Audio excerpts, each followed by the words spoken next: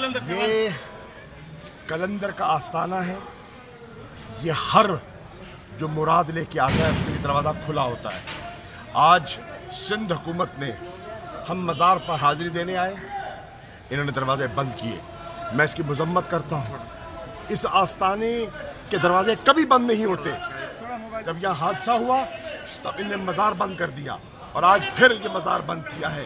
ये सिंध की और आस्थानों की और खानगाहों की रिवायत के खिलाफ है जो आज किया गया है। मैं मजम्मत करता हूँ कि इमरान खान हाजिरी देने आए थे वो बाहर से चादर चढ़ाने आए थे और दुआ के लिए आए थे।